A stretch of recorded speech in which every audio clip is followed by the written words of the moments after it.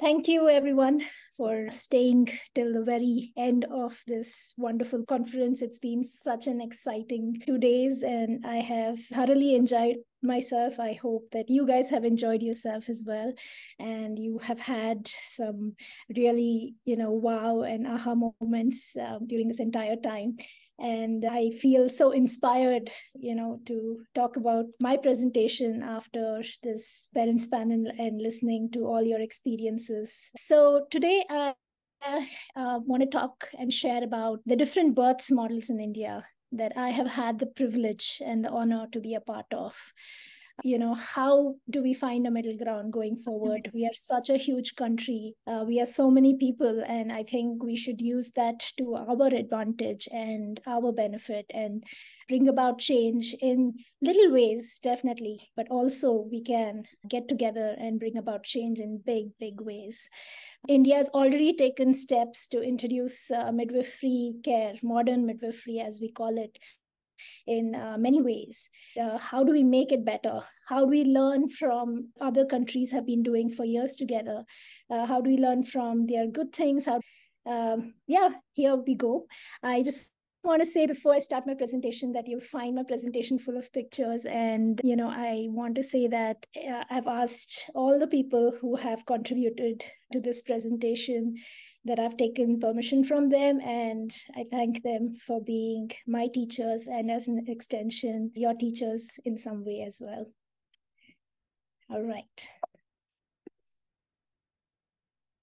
Why should we discuss about birth models in India? So to, to quickly talk about this picture that I have, uh, you know, some of the questions that arose earlier, how long can we keep the cord intact? Can you see how this cord looks? And uh, I think, uh, you know, this was, uh, this picture was taken by a birth photographer and uh, she was like, can we do a heart with the uh, umbilical cord? And we were like, yeah, why not? And you can see that big, beautiful, chunky placenta alongside this beautiful baby.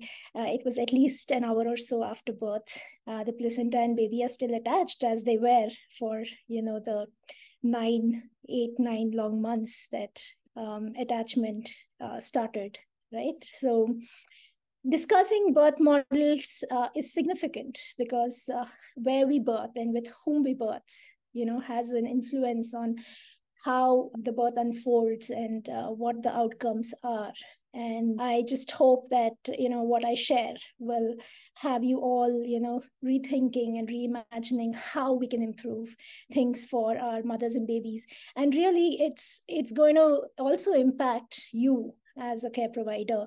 Because when we make things as you know joella was talking about when we make it easier and more straightforward and we support our families to give birth we create less work for ourselves. And we make this um, you know important work that we're all doing sustainable little bit about me. Uh, I'm a certified international midwife and I have an extensive support in low risk normal births. I have uh, also actively supported women in lactation and I help families uh, through education and awareness building to prepare for you know what lies ahead in their journey of parenting I'm also a birth business entrepreneur, uh, as we just shared uh, a few minutes back. I opened, uh, along with a wonderful team, uh, the very first birth center in Bangalore a few years back. I've consulted uh, with uh, multiple hospitals in Bangalore and elsewhere on how to build water birth facilities and, you know, in-house natural birth suites and now uh, we are all set to launch my next birth center uh, with integrated side along obstetric unit, and it's going to be called Madilu. I believe that every birther deserves choice, compassion, and safety.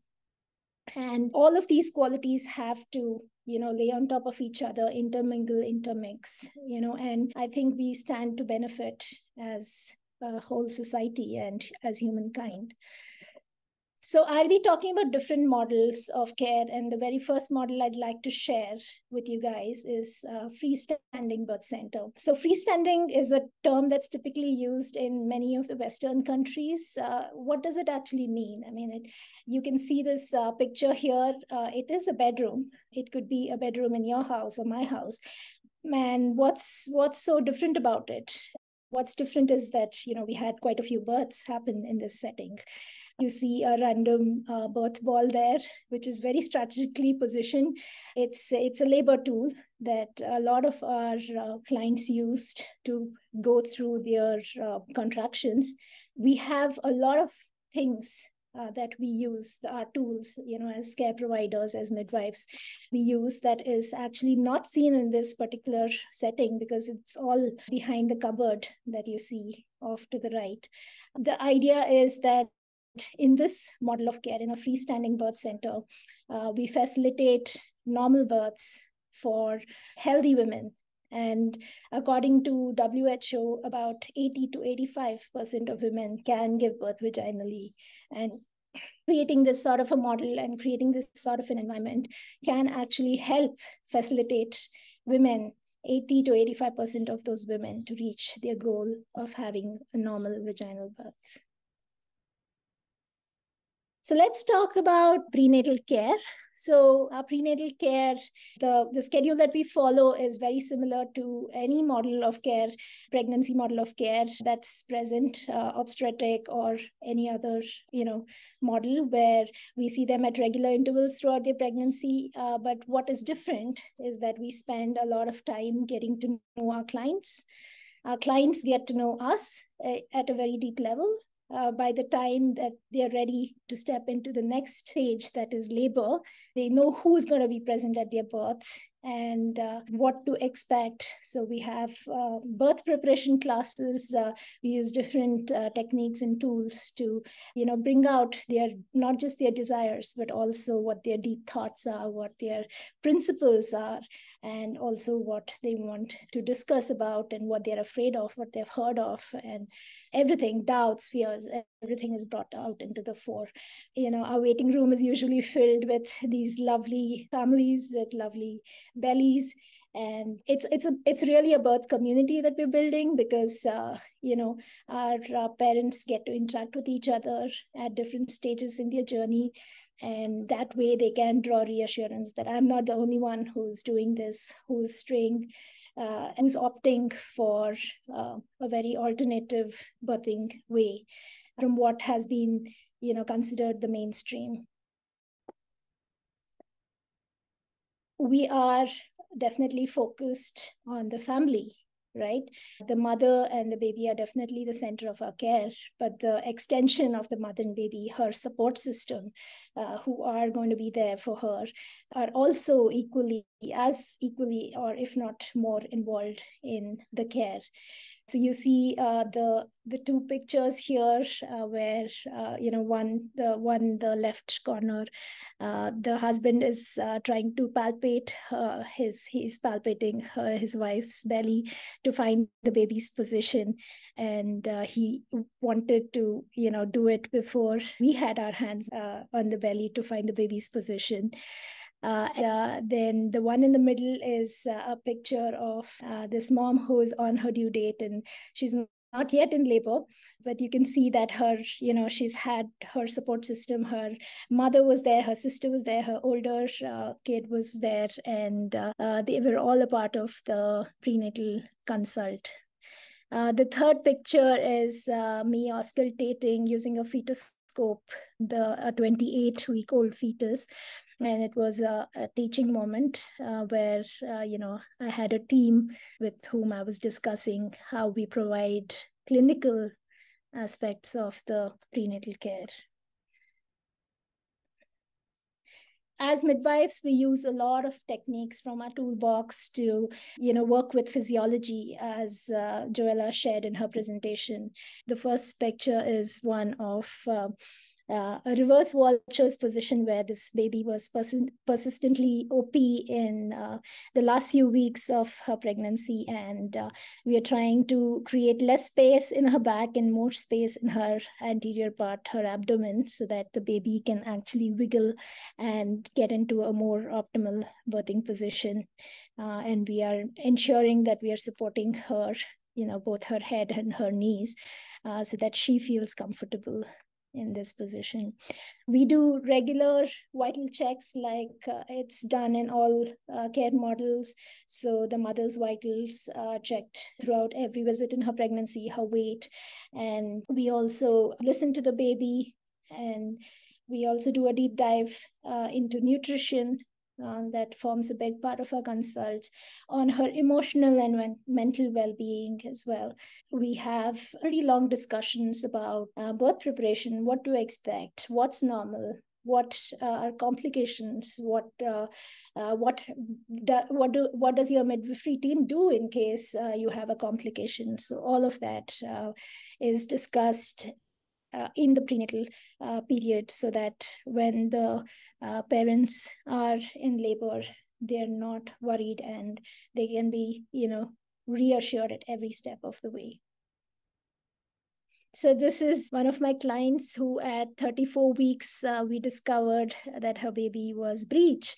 And i sent her off uh, to an ultrasound to confirm uh, whether it was indeed a baby who was in the breech position and she was very committed to have a normal vaginal birth. So she was like let's try and turn this baby. So these were some of the techniques that uh, we employed to have the baby uh, in cephalic position. And uh, at about 37 weeks uh, baby remained breached up to 37 weeks. And at 37 weeks uh, her baby finally decided to go into a cephalic position. So we did a lot of repositioning exercises and talking to the baby, and we have a whole um, breech turning protocol that we followed with her, and it really worked. in this model of care, what does labor look like, right? Uh, so the next natural progression from being pregnant is uh, entering labor. And one of the things that uh, as midwives uh, we do is uh, we wait and uh, we discuss the importance of waiting for labor to start on its own. So the, the very first picture uh, are uh, these are my two sisters. They're uh, twins, and uh, both of them had babies with uh, with us. And uh, the one in the middle, she's the one pregnant. she was laboring at home for the previous 24 hours. She was in early labor, and we usually reassure all our clients that in early labor they can stay in the comfort of their home and they can rest and sleep. Uh, she came in at around five o'clock in the morning for admission, and uh, we greet our clients at the doorstep of the center. And uh, you know that's one of the ways to you know celebrate uh, you know that she's in fact entering into the next phase of her journey to become a parent. And uh, once she was uh, admitted she had her baby within the next 12 hours. So she had her baby at 5 o'clock 5.30 in the evening the photo in the middle is uh, Sneha, who presented yesterday, and Smriti, who was there in the session uh, at the parents panel. So she uh, was here, and uh, Sneha is uh, Sneha had just listened to the baby uh, using a handheld Doppler, and she's just telling the rest of the midwifery team that the baby sounds great. And you can see, you know, there are fairy lights in the background. There are some birth affirmations and pictures that Smriti had brought along. So we encourage our clients to make their birth space their own by bringing in anything that they feel is important to, to them in this process. And the last picture is that of Mopia in active labor, and she's using the birth swing to, you know, hold on, and you can see her husband is behind her supporting her. While all these pictures look quite bright, I would reassure you that there were no bright lights turned on. So once uh, you once our clients are in the throes of labor and active labor, there are many more tools that uh, we utilize to bring them uh, to bring to them to suggest and they also instinctively know that this is what is working for them and not working for them. They get into a rhythm of birth. Um, so here we have this client who is leaning on her husband. You can see that her husband is in a pretty awkward position but he's doing all that he can to support her and the one in the middle uh, is the mother supporting her daughter to help bring know, her grandbaby into this world. and uh, she really had a lot of lower back pain because the baby was quite low in her birth uh, canal in the mid pelvis by that point of time i had just listened to the baby and i'm sitting and you know just whispering words of encouragement to the mother who's going through a contraction the last picture is that of uh, what we call as belly sifting and that's uh, the uh, the advantage of uh, doing this is twofold uh, where you have the uh, sifting helps to take the pressure off the back and the belly and you know it feels good for the mother and at the same time it helps the baby to get into an optimal position for birth the environment that we facilitate in this model of care uh, is very important to us and the families who opt to birth this way. So you've heard multiple midwives mention that we are always at a level lower than the birthing person. So this first picture is where there's a pause between the contraction. The mother is pushing, so she was squatting to push, and uh, then she, uh, would, in between contractions, sit on her husband's lap. So um, her husband was supporting her from behind. And uh, if you see, uh, Dr. Ashwatika is having a mirror and a torch in her hand.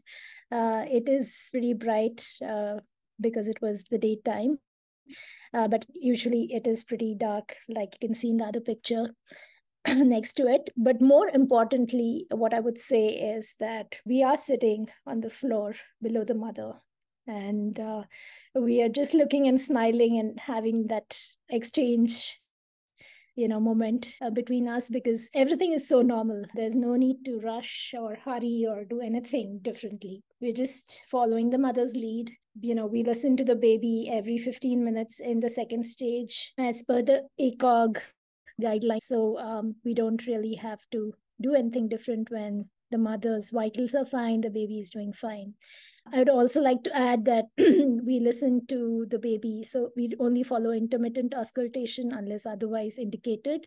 Uh, so in active labor, we listen every 30 minutes. And in uh, the second stage, we listen every 15 minutes.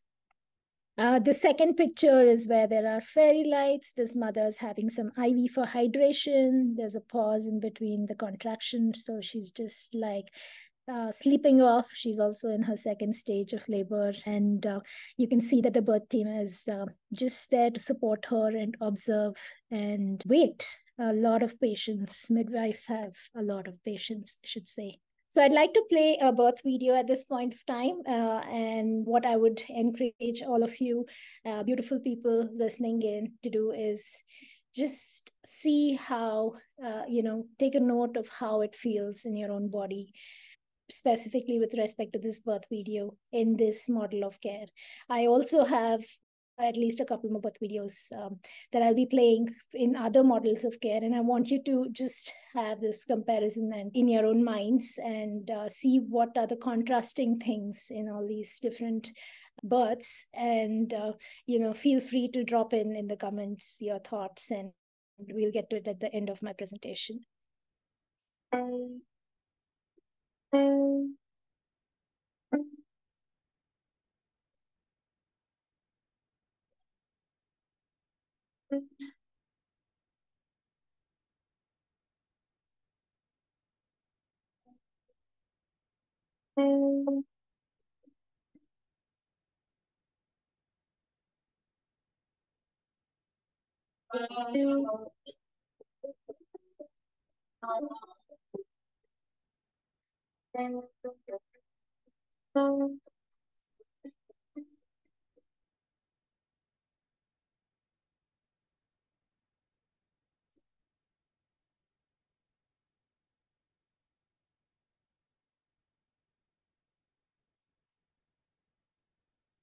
Uh,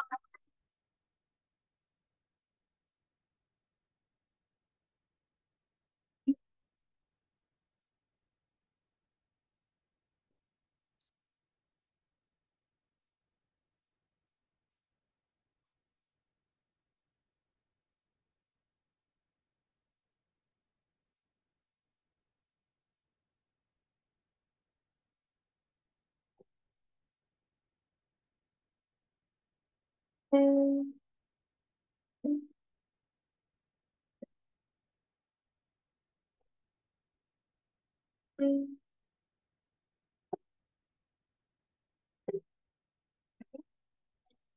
it, and one more. Keep moving, one more. Strong.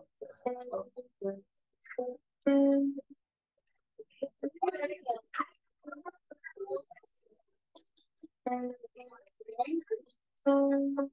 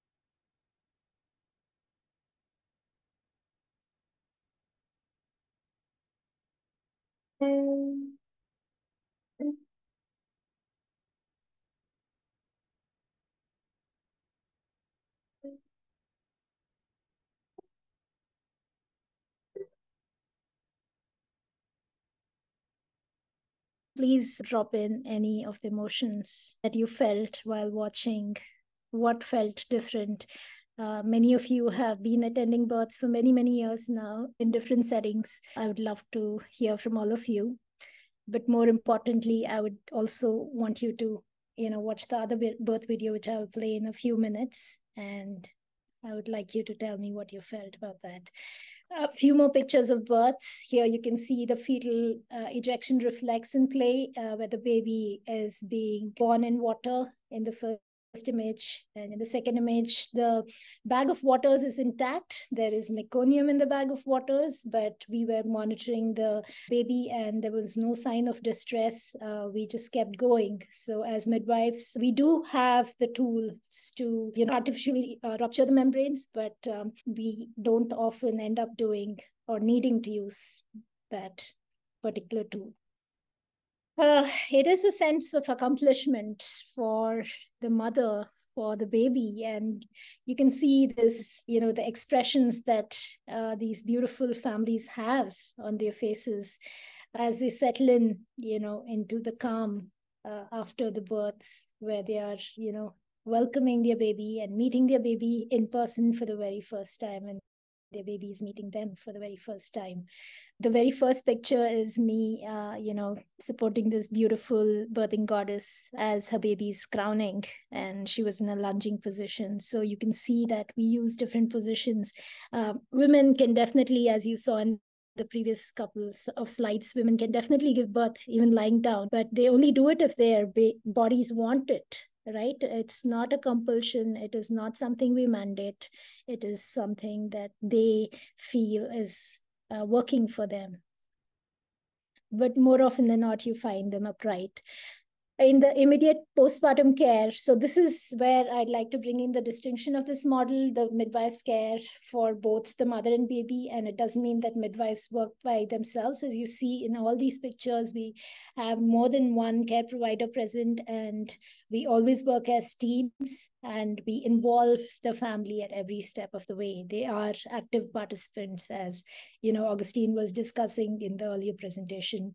The first picture is the family uh, the father weighing the baby as the mother looks on and resting after birth. Here the older sibling is uh, listening to his uh, baby's uh, baby brother's heartbeat. And this is the last picture is where we are doing a thorough newborn assessment. We are testing the stepping reflex of this newborn uh, whose cord is still intact and attached to the placenta while we are doing the exam because the parents wanted to um, you know delay cord clamping for a few hours and we respected those wishes because there was nothing else that needed to be done at that point of time anyway. We use tools like the Ballard score to you know estimate the gest- gestational age and uh, we do a head to toe assessment of the newborn baby to make sure that they are normal and healthy. We do a thorough examination of the placenta because uh, that is not just uh, to ensure that you know there are no chances of either primary or secondary postpartum hemorrhage, uh, but also you know to honor that this particular organ has been uh, the baby's lifeline throughout pregnancy. And um, you can see the mother side of the placenta that's being examined as the family looks on uh, while the baby these latched on. The cord is again still intact. And uh, I, this particular family uh, opted for a lotus birth, and I'll be talking about it in just a minute. The second one is placenta with a marginal inser insertion of the cord.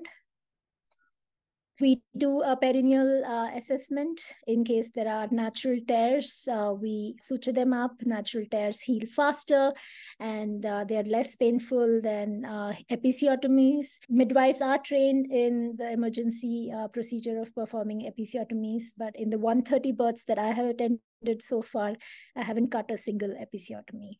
Uh, the family is still intact. They're still together. The baby is always with the mother. There is no separation that happens. So the postpartum you know after as you know discussed before uh, by the other presenters we do offer six weeks of postpartum in the midwifery model of care and uh, you can see that the uh, families are happy uh, with their experience and uh, they are uh, you know again having a community to share their parenting journeys with so a few things I'd like to highlight here with uh, this model of care is that there's personalized care with informed decision making. The care slows down. We slow down as care providers. Yeah, because birth is not an emergency. Birth work it works in india because we are the most populated planet on this country and you know there is very very uh, few situations where you know there's uh, it's uh, it's an emergency uh, complications, yes, do arise, and we are trained and skilled at uh, managing the complications, but also we can do it with, you know, slowing down, moving carefully, working in teams. We do risk assessment at every step of the care throughout the journey the family has with us. And midwives, we take care of both the mother and baby. And we offer choice, there is humanistic and safe care. That's really the cornerstones of this model.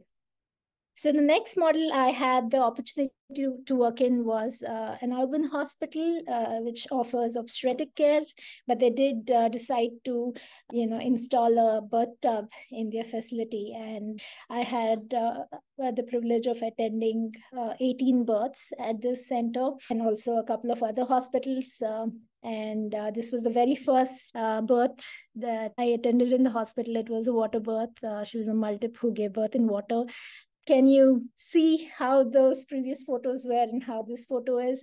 Again it's not about right or wrong. Uh, they're just different models and uh, what uh, i think that we need to right question ourselves is that is this uh, care family centric at every step of the way so this is a this is a video of the hospital water birth, and I just want you to really, you know, compare in your own minds the previous birth that you saw at the the first model and this second birth that I'm going to be playing now.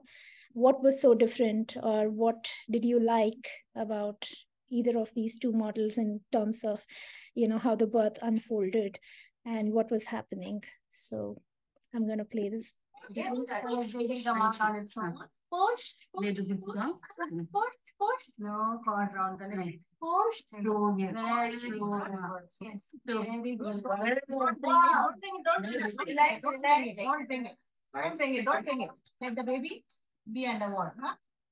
Slowly. Yeah.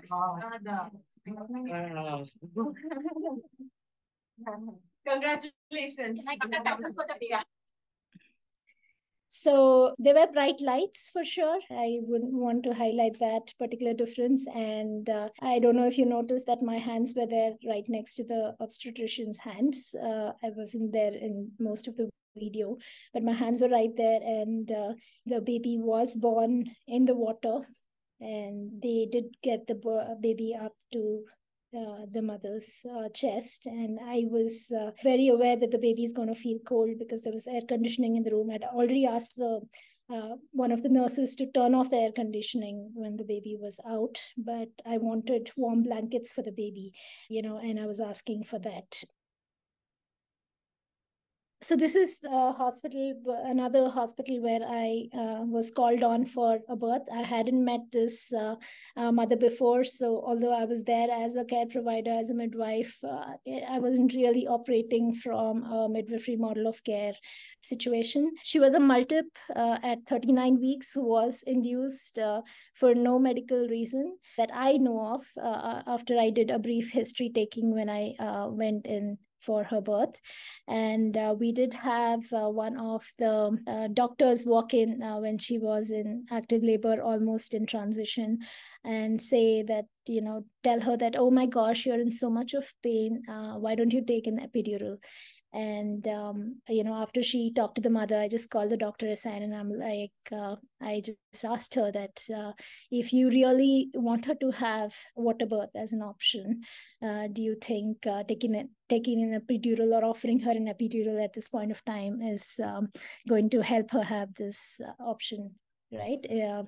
so very soon we got the mother into the tub and she gave birth but you can see that uh, this is this picture was taken moments after she gave birth. Uh, she's having active management because she was induced with uh, induced and augmented with uh, syntocin and uh, you see that the baby is nowhere in sight and everyone is uh, very excited because that was their first water birth in this hospital. And they had this picture taken at that moment. And let's see what happened to this baby. So the baby was separated. One second, ma'am. She wants, he wants to cut. Yeah. No, clamp, clamp. So the pediatrician is uh, going through the motions of cutting the cord after birth, and they're very used to. I mean, uh, it's not pointing fingers at any one person. It's just, I think, I just want to shed light on how the system works as opposed to the previous model. They had the clamp on, and uh, they wanted to. She just was going ahead and cutting, and I had to intervene and say, "Stop! The father wants to be the person cutting the cord. He wants to be involved in this baby's. You don't have to, no? Yeah.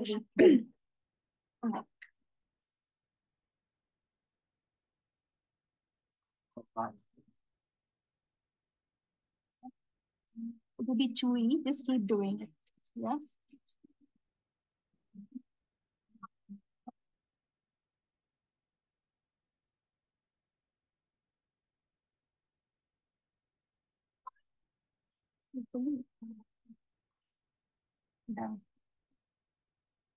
These are pictures of my other two clients who did opt for uh, midwifery care along with me, you know, throughout their uh, pregnancy and in the postpartum period, but chose to give birth in hospitals using the water birth facility there after the birth center uh, had closed down. So uh, they both had beautiful births. The first mom, uh, she had uh, a pretty precipitous second stage of labor, and um, baby did just fine after birth. And the first, uh, the second mom in this picture, uh, she was a VBAC mom. Uh, she really was birthing lioness i can call her. She uh, you know was uh, she refused all sorts of interventions at every step of the way. They wanted to uh, rupture the uh, membranes. And she said no uh, i need 2 minutes. I need to go to the bathroom. And when she stepped into the bathroom uh, and came back you know there was a puddle of water on the floor. She just you know willed her body to make things happen so that she could avoid any and all interventions. She had a beautiful birth no episiotomies for any of my clients in the hospital. So I advocated pretty fiercely and I said that we don't have to routinely do episiotomy. Uh, this couple, you know, um, beautiful story again. Um, they were doing all the things, uh, and she was seven centimeters dilated when uh, they offered to break the bag of waters. And this, uh, they did take on this particular, um, uh, you know, intervention and uh, they after the membranes ruptured uh, there was MEC And uh, while there were reassuring heart tones, there was nothing really wrong with the baby at that point of time. Uh, in in their labor, the doctors uh, did suggest quite strongly for a C-section, and uh, um, they um, decided to go in for a C-section. It wasn't an emergency. After the decision was made, uh, the it took almost an hour to get her into the operation theater.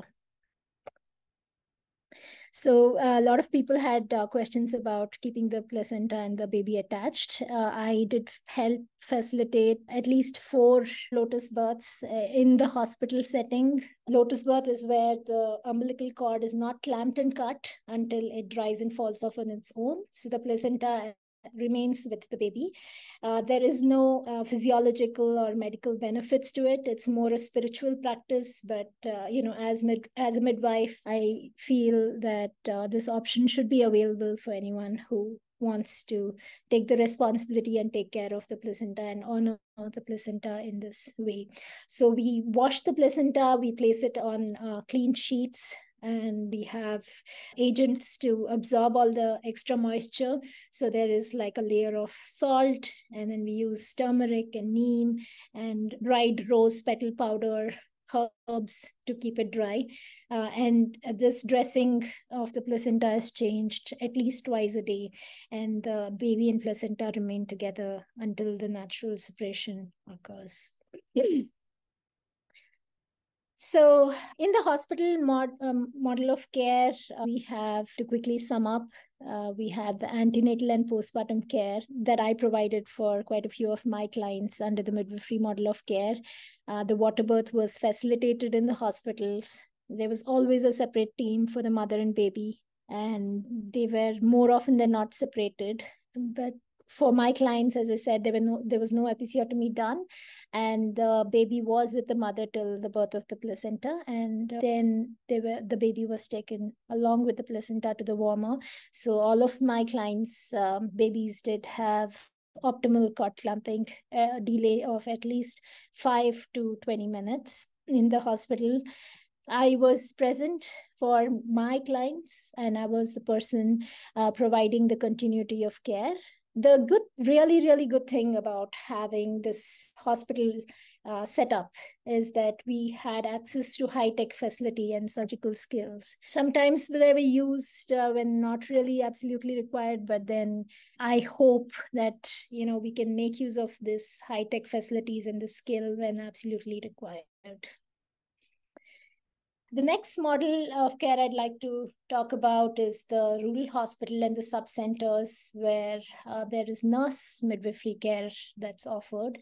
And uh, again, me and a couple of my teammates had this uh, opportunity of uh, volunteering in a rural hospital and uh, one of their sub centers. And uh, we uh, were there for a month, about a month, and we attended. So it was what they called as a medium volume center, but uh, in terms of midwifery model of care, it was a high volume center. The prenatal care that we offered there was uh, seeing about 20 to 30 women uh, per day, uh, which I think most obstetric model of care, uh, that's how it is you know built where you do see a lot of people. But then uh, we did spend at least half an hour with each of the moms trying to infuse elements of midwifery care into their prenatal visits.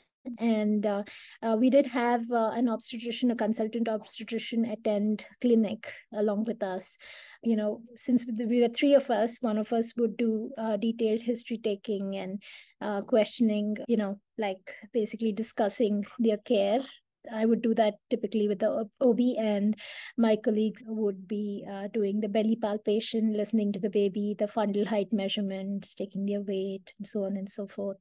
Uh, the first picture is that in the antenatal clinic, and the second picture is that of the labor ward where they had come in for NSTs because uh, they have a policy of waiting up to 41 weeks before trying to get a labor going. So here uh, for the NSTs, we were just palpating their uh, abdomen to find baby's position before we put on the probe and run the tests. And this is probably a picture that's familiar to a lot of uh, the attendees today who are uh, used to working in um, or have had uh, experience working in a government setup or a low resource setup. They were actually a very well resourced center uh, and uh, they had a three bedded labor ward with curtains, and the curtains were all, all, almost always used to provide uh, some semblance of privacy especially when there were more uh, than one uh, woman in labor at that point of time. There were gloves that were being reused after going through a sterilization process, protocol and process in the center. That was something that was very new to us coming from urban areas. It was a very simple setup, but they also encouraged their mothers to move in labor, uh, we told them to turn off the lights because bright lights are not really needed and that what that's what you know reduces the stress hormones. And uh, we were working with the nurse midwifery team in the labor ward. The obstetrician would be only on the phone uh, for any required support but uh, uh, the nurse midwives were the ones who ran the labor ward and we were there for that period of time help them and we did a lot of information exchange. So this was the very first birth that we attended uh, of a primip and we encouraged her to you know adopt uh, different positions but uh, she felt most comfortable in a lying down position. And she did give birth lying down and had a first degree tear natural tear. Uh, so the nurse midwives there uh, usually the protocol that they follow is doing um, routine episiotomy for a primie and not doing episiotomy for a multip.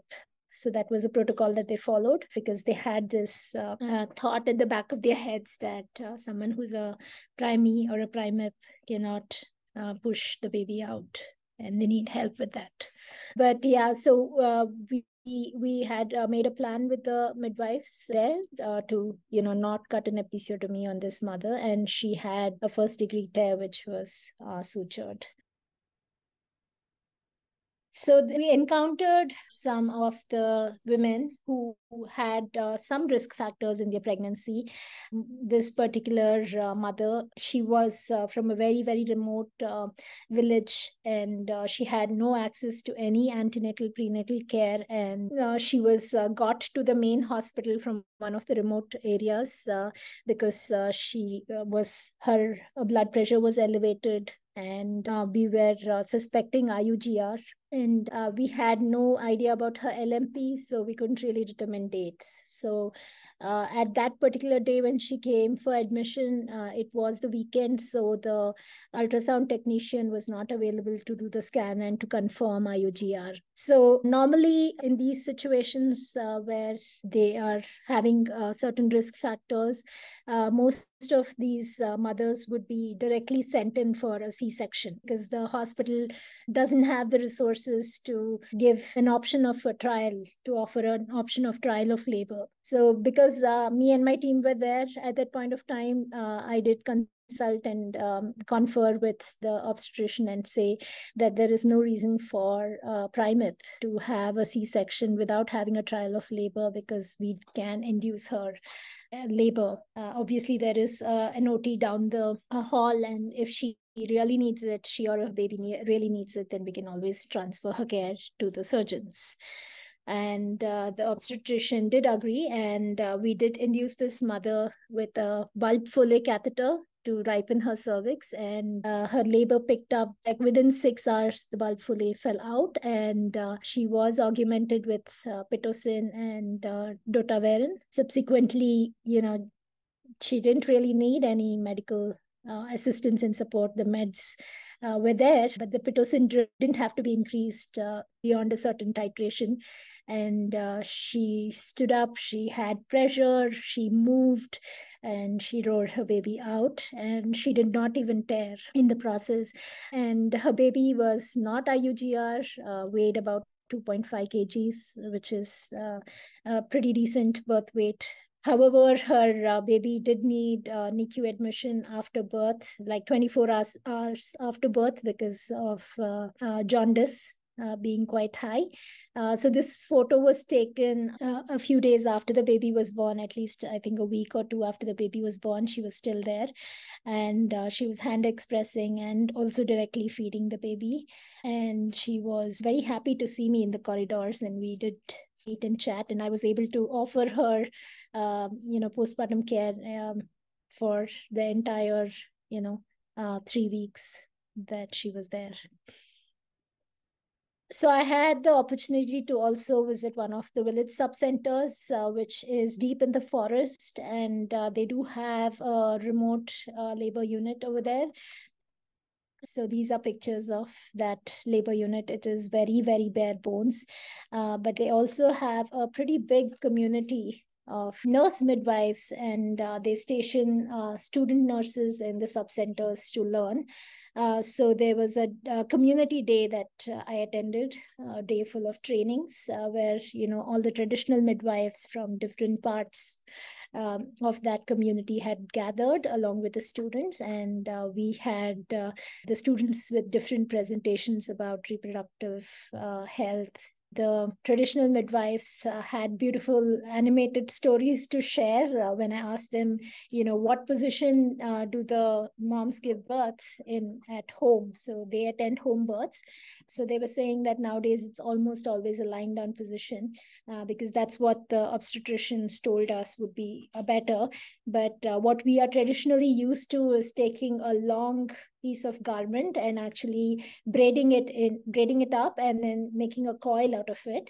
And then we place that on the ground and have one of the midwives or the mother or sister supporting the the birthing mother from behind and the midwife is always on the front of the mom to encourage her to push and to deliver the baby.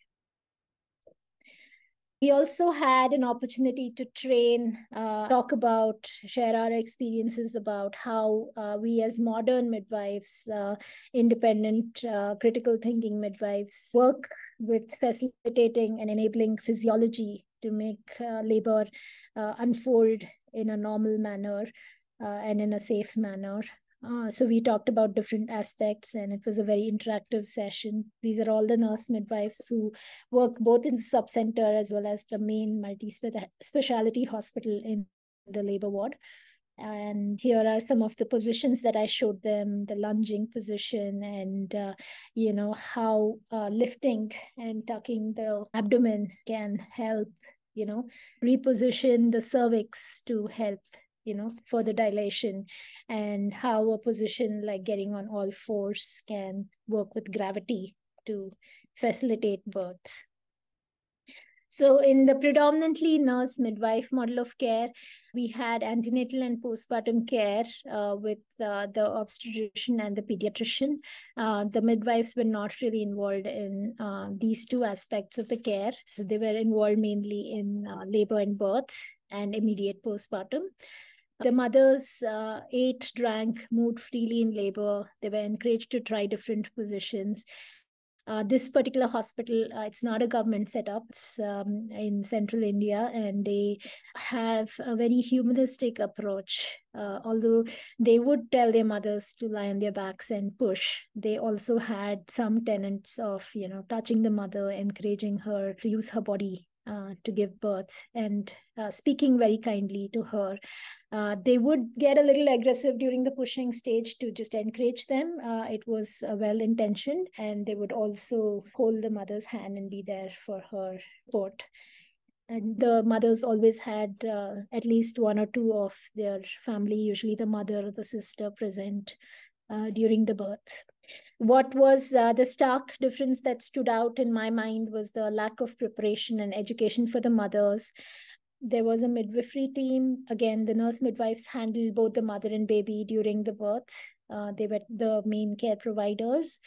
Um, and there is uh, ot down the hall and uh, there is surgical skill uh, when absolutely required. But even over here in this uh, particular setting, they did have a 50% C section rate. Again, as Deepika had shared uh, in her session, the WHO recommendation is 10 to 15%. So, uh, you know, uh, they do have more high risk moms because of chronic malnutrition and uh, poverty and all the other socioeconomic factors that come into play. But, you know, uh, one of the main intentions uh, that I had in my mind was to see if mothers can have a trial of labor before you know, being wheeled off uh, into the operation theater.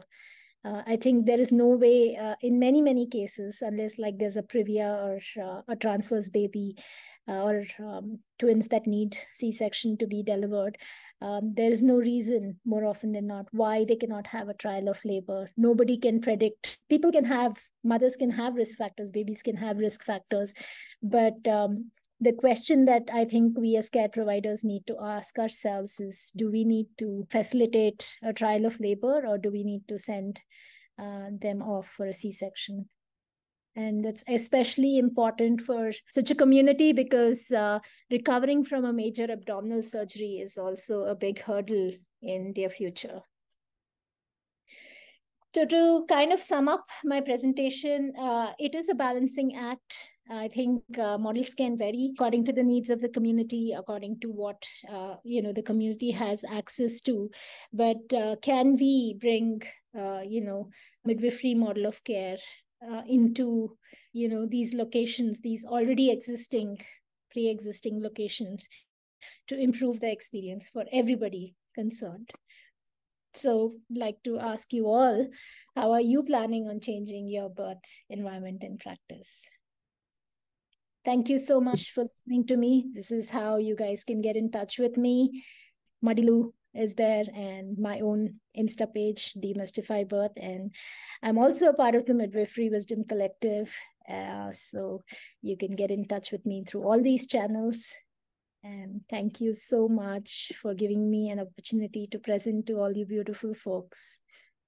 Thank you so much, Chetna. What um, a beautiful presentation. I know we all really felt moved by those images and your descriptions of care and all those models. And it really brought home all of the presentations these last two days and made it really clear about what's happening in India and what what we can change. I just thank you so much. I invite Thank everyone you. to turn on your cameras and ask any last questions. I have a poll up in the chat about what was most surprising about this conference. And uh, obviously, we would love to hear from you what you're planning to integrate into your practice and care models. I'm so, so impressed with this presentation, Chitna. I'm so impressed with you and uh, so grateful that all of you decided to join us for this adventure. I'd also like to know if you all want to do this again. Should we hold another conference next year? Because it feels like we got some really meaningful, interesting sharing. So, uh, opening up the floor now for questions. Please unmute yourself if you have a question or type it in the chat and I'll read it out. And that could be for Chetna or for both of us for anything that you heard or saw during the conference these last two days. I'll give my feedback to you because I don't want to echo. Okay. I totally, totally think we should do this conference again. Deepika is saying she doesn't want to echo, but she's saying she wants to do the conference again. Yes. Totally, totally. Right. We got both of those. Yes. Urvashi wanted a breech presentation guideline. I would love to share it with uh, you, you know, within a week or so. And I, I shared a link to the emergency breech course on the website. So that's another option yeah. for folks. Yeah, it's a it's a really good course that Augustine has. You have the reverse Walcher's and the Walcher's maneuver on Spinning Babies website, uh, Shilpi. Mm-hmm. Thank you, uh, Geeta, for your encouraging words, and Shiji, and also Sharda. So one thing, if uh, if there is a person who has no relation to a medical field, how can they, you know, join into midwifery model? Well, I think Chetna is the perfect one to answer this. Hey, Chetna, what was your profession before yeah. midwifery? So uh, the first degree that I got was that of engineering, and I worked as an engineer for six years. And I had my baby, and then never looked back because I knew at that point of time in my pregnancy itself that I don't want to be an engineer anymore. You know, midwifery is my calling. So there is, uh, you don't have to be a doctor or a nurse to become a midwife. Midwifery is a separate profession. Yes. Nursing and physicians yeah. have separate professions. They're related in that we, all of us, could be in the birth room, but they're all separate professions. Same with the doula. A doula is also a separate profession. It's not uh, a part of either of them, right? We're related in that we all work in the birth room, but there are separate courses, separate pathways, separate certifications. And I think the the words that we're looking for here, I'll just add a little insight. Um, is the difference between nurse midwifery, which is a pathway where you become a nurse and then take advanced midwifery training, and what's called direct entry midwifery, where you skip nursing and directly enter the profession of midwifery. And that is what Chetna is, and that is what we are um, really advocating for with this conference and with our presence here in India, is that it is a separate profession. You do not ha- need to have medical prerequisites, and that in fact, to be a competent, critical thinking, independent provider, oftentimes it's better if you don't have nursing first because nursing again has a totally different uh, prof- process, including following orders and being an assistant rather than being an independent primary care provider. So we are definitely advocating for independent direct entry midwifery where you enter the profession directly. And the pathway that we are advocating for right now is the International Registry of Midwives. And I dropped that in the chat a little while back, international midwife, I believe dot .com, maybe .org. Um, that is the pathway that Chetna has finished and uh, passed the exam in order to become a certified international midwife or a CIM. And currently, there are 13 countries in the world that accept the CIM credential for country licensing. And we are hoping that as more people become CIMs, that we can pressure the Indian uh, authorities to also issue reciprocal certification and licensure as a result of that pathway. It does not yet exist, but that is the, the pathway we're hoping to make happen. Hi, Augustine. I don't know, Augustine, if we say this is a destiny. I'm hearing you from last two days, day and night. Yesterday, I, you know, I've attended one of your uh, Gold Speaker Notes workshop also and that is immense learning and i'm so overwhelmed like listening to barbara listening to you then having a session with sneha and the session on body work. Like i just love the presentation which was given by chetna about different model of care being in you know as a physiotherapist and uh, as a know, trained doula uh, I have visited Sanctum, which was in there in Hyderabad, and uh, got to know to see this midwifery-led service, and which amazed me because here in North India we don't have such kind of facility, and uh, we are like I'm especially associated with hospital and looking uh, for the best hospital which is just close to the that kind of service which we talk which we say. So as someone said you know yesterday also sometimes people the moms they feel that we are robbed. You know you are uh, telling them something xyz and then once they visit the hospital it is completely different spectrum of care which they provide. Now learning about the midwifery center the birth home and all. So we talk a lot about you know what we were providing to the uh, mothers and there were mothers those who have delivered here. I would love to hear the challenges faced by you because you know uh, there was the birth home then we got to know that the birth home was shut maybe you know because of any. So there is some learning always whenever we we are working on some projects and all. So uh, like anything that you would like to share with us because definitely it gives us a, a new horizon to think that you know like midwifery is, can also be a wholesome field to practice and uh, since we are we are very few and I, I, do have yes. seen here in north india also you know amongst the doctors they are also very much interested in providing such kind of service or in actually you know motivating the sisters also that you know you should go so i have learned about Fernandez hospital also that they are training the midwives and they are having their own uh, training programs so would you yeah. like to share Chet? Well, I, I, I know Chetna is going to chime in, and I just want to say just a quick answer to your question is um, we are on the cusp of change. That's the title of this conference. It is coming. We can all feel it. Things are different than they used to be. Clients are demanding it, and many entrepreneurial uh, birth homes and and providers and physicians are trying to meet that need. The problem is that we have a, lack of understanding of the holistic model, of the critical thinking, of the risk assessment, of the balance of care. And I feel like that's really what Chitna and I can offer to this space is really helping to uplevel the education and bring us into alignment with both evidence based care, the balance of normal, natural, and safe, as well as teaching about humanistic care involving uh, informed decision making and true, you know, kindness in care. So I think we can bring that um, in a new way. And for the birth home itself, Chetna was a partner. I was not. I was I was just uh, uh, associated, and the birth home was thriving. Uh, there were just some differences of opinion business wise. Um, and so this new model will also, I'm sure, be thriving. And the main problem that we discovered with the birth home really had to do with the way that the Indian medical culture is set up. So we're in a lot of ways we're importing a Western model, right? Birth centers have existed in UK and the US and Australia and Sweden, and you know birth centers are are kind of a lot of places. And uh, the birth center, the freestanding birth center, the first model that Chetna presented on, which does not have obstetric services or OT or any surgical procedures, um, it doesn't work so well in India because transports are challenging because the facilities are not used to receiving those transports. Traffic is a mess and there just is no integrative model. And so part of the decision to close the birth center was the fact that we needed to open this new model where we have truly integrative care. And i think this is still nascent. It's still so beginning that it, this model is not in Chetna's slideshow because we haven't made it yet.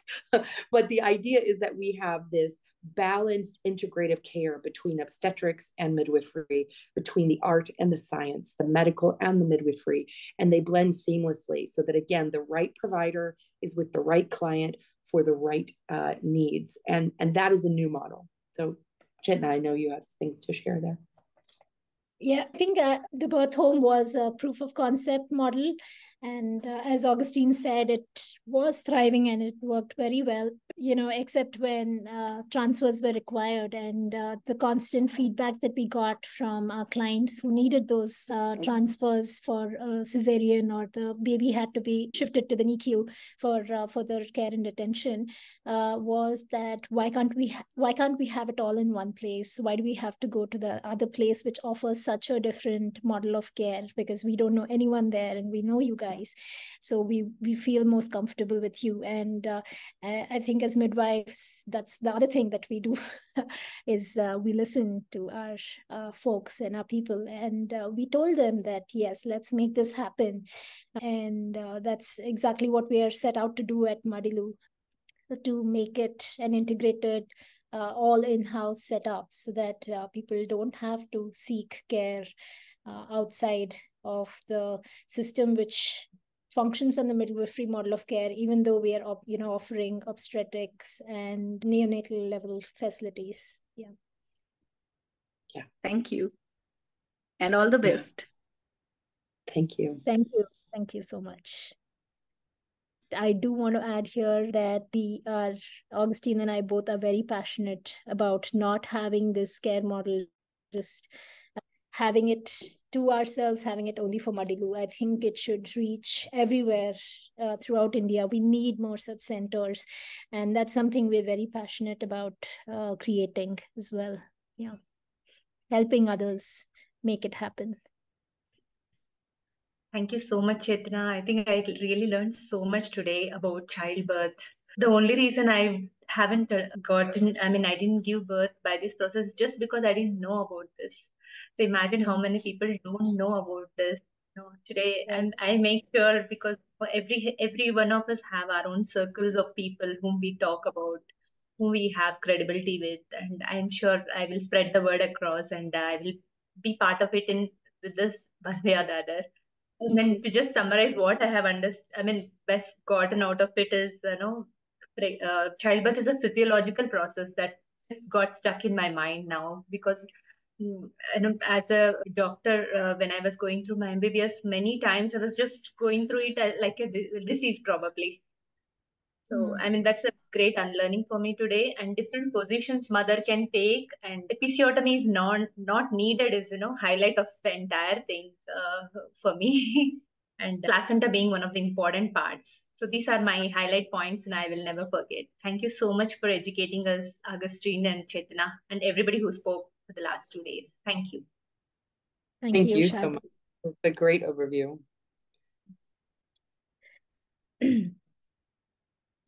Manisha, can I call on you to say something? I'm actually a little speechless after listening to everything. And I'm trying to correlate with my birth what went wrong.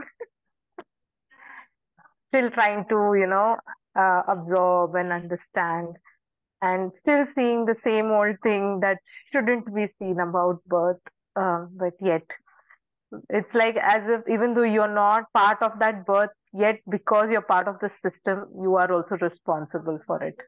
Is what I feel. Yeah, And I felt the same when I was working in the hospital. I can relate to what you're feeling.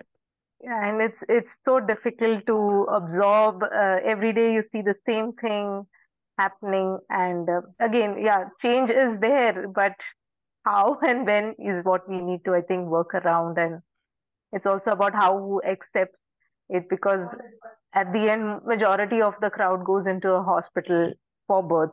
That's the whole idea. So Yeah. hoping that things change and at least we can get back Yeah. Change needs to come from all places, right? Within, without, above, below, inside, outside, all the ways. You guys are a big part of that change. Any other feedback from this uh, two day conference? Would love to hear anyone's takeaways. We have a few comments in chats as well. Yeah, definitely the certified international midwife process can be done in India. That's what I offer. I'm a preceptor with the International Registry of Midwife. That is the process that Deepika is in and Dr. Ashu is in. You, you saw their presentations.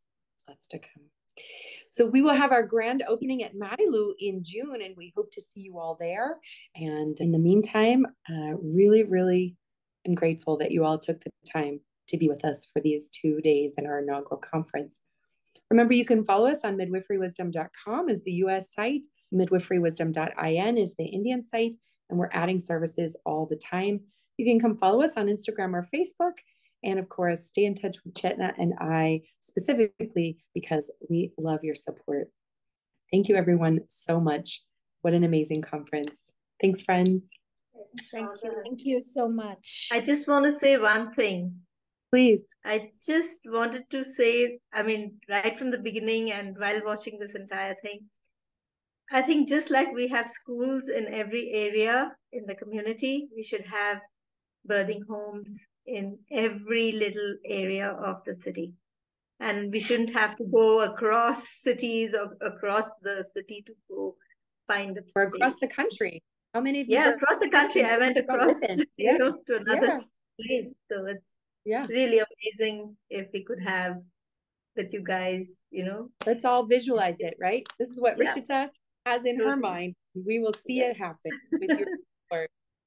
Thank you so Thank much. That's the vision of Madilu. Yes. That's where we That's want to go. Yeah. Yeah, that, I mean that's what I could see, and I'm I'm already seeing it happen. That's wonderful. Awesome. That's awesome.